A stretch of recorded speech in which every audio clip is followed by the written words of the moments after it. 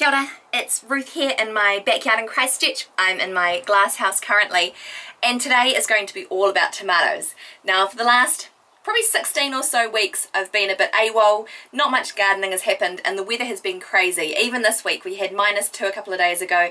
Now it's been too hot to get anything done until the evening but this is spring for you in New Zealand. Spring is pretty crazy. But I've seen lots of things, especially in the Christchurch groups, about tomatoes. Is it okay to plant them outside? What is everyone doing? So I thought as I'm doing some tomatoes today, I'd give you a little bit of an update of where I'm at. So the first thing is, do not plant them outside. I've got some places ready for tomatoes, which is going to be over here which I've been prepping the ground. I've got some rotted sheep manure and some blood and bone and everything in there and it's just going pretty well. But do not plant them outside. It is way too cold. Even though today it has been super hot, it lulls you into a false sense of security because actually normally kind of the north of New Zealand it is um, Labour weekend which is about four, four weekends away. For Christchurch it's more like Canterbury anniversary weekend which is another two weekends after that or three I might get impatient and plant them early, but I've started planting them here in my glass house.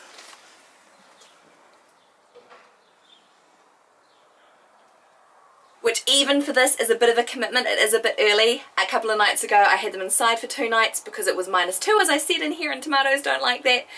But I've kind of got my head of this is what I should be doing. My pff, we'll just give it a go, so we'll see. But this is where I'm at with my tomatoes. So the biggest thing is transplant, transplant, transplant. If you're going from seed or if you're buying small seedlings, give them more space. And I'll give you an example right now. These ones, as you can see, I planted on the 7th of the 8th and they're pretty good size. What I then did is I transplanted them and when I transplant them I transplant all of this under the ground so you've just got the front or top two leaves showing. Now I did that last weekend and look at these tomatoes. These are a different one. These are Karens but they all started the same size and I planted them down. They're this big. These ones I did a couple of days ago and these ones here are ready to transplant. So I'll just show you quickly how I transplant them into pots. The first thing to do is I only put a little bit of soil at the bottom because this is what the roots are going to go on and then I'm going to plant them deep. So let's see. Okay, I just actually changed the soil because I realised it was a bit drier after sitting here all day. Ended up being about 40 degrees at one point because I didn't have everything open. It's now open. So you can see it's only got about that much soil in for the base. Then what I'm going to do is grab my tomato seedlings and I've already soaked these. If you can see down below there's a funny coloured water. It's water that's got some seaweed tonic in there so these guys have had a really good soak. I will squeeze the base, see some water coming out and gently lift them out. So as you can see there are three tomatoes in here and I don't want all three. These two I'm actually going to plant straight in the ground because I'm a little bit impatient with wanting to get them in but I'm going to put this little dude in. So carefully tease apart and just plop him in there. Now as you can see only his leaves are coming above the ground and so what are we doing above the pot is just filling it up all the way because the rest of the stem extra roots will grow and the more roots means the more places it can get water when summer's hot and the stronger the plant will be.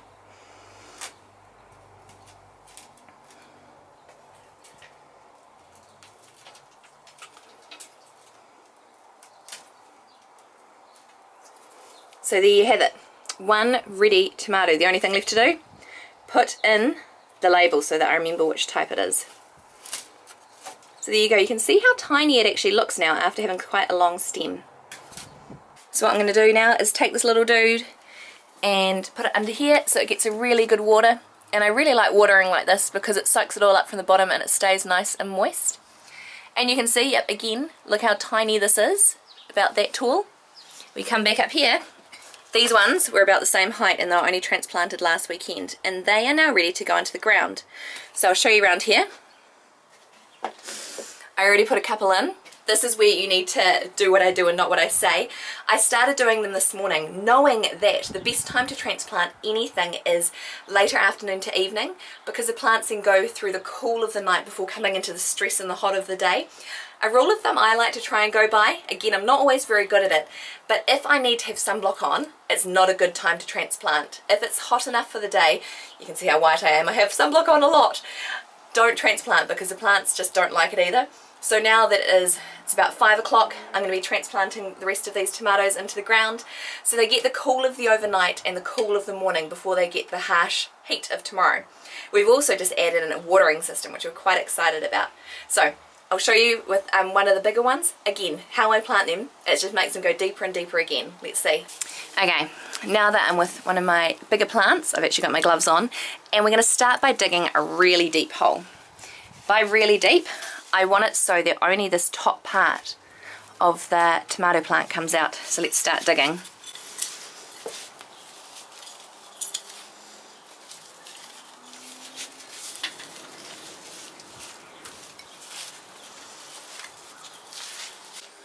So now what I can do with my plant is check that it's deep enough by putting it down and these little leaves are just coming just above the soil which is perfect because what I'm going to do now is put in a few little bits of, there's a couple of worms still in there, some worm castings from my worm farm. It's because tomatoes are really heavy feeders. So I'm going to put a bit down the bottom and I'm then going to put a little touch of blood and bone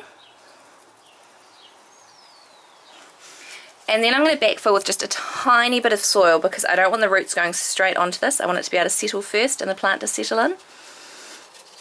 And then I can plant this straight on top. So again, I'm going to take out the label because I'm going to put this back in so I know which one it is.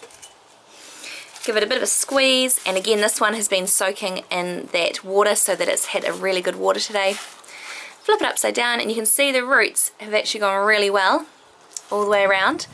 I'll give them a little bit of a tease so that they have some growing space and then in the hole. And then backfill.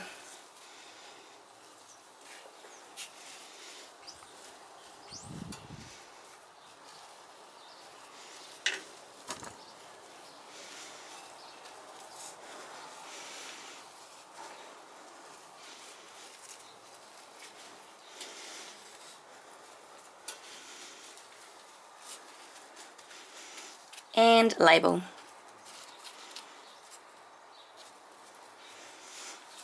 So we now have a tiny tomato plant. So I now have four in. Before I finish, I want to get all of these ones in the ground as well so that they are ready to go for tomorrow. And then the last thing I'm going to do, normally would be staking because when you transplant tomatoes you really want to stake them as young as possible because their roots don't like being disturbed. And here what I'm going to try and do is from the top down make some lines for them to climb up. We'll see how it goes. But what I am going to do is plant basil around the bottom. I have got Country Value basil, Mr. Fothergill's basil, Gardenia basil, and Yates basil. So I'm just going to take a little bit from each one and just scatter it around because basil and tomato are really good companion plants. They bring out the flavour in each other and I love using basil in cooking but also being able to let the basil go to flower a couple of them as well because the bees love it too. So basil's just an all-round winner. Doesn't like the cold, same as tomatoes. Again, could be a bit early, but with all my packets of basil, I will not use all of them. I'll just do a light scattering and I can always do some more later. So, that's where I'm at with my tomatoes. I've had a really productive day in the garden, so I look forward to showing you around a bit more later. But that is all for now. Let me know what you're doing with your tomatoes, whether you are going into winter and they're all done and you're bottling them and they're done, or whether you are just coming into, I've seen some pictures of on the North Island, they've already got tomatoes that are knee high and flowering. I just have to know that's not quite where I'm at and that's okay. We will get there. So thank you so much for watching. I'll have some more videos coming out a bit more regularly now and we will catch you next time. Ka kite!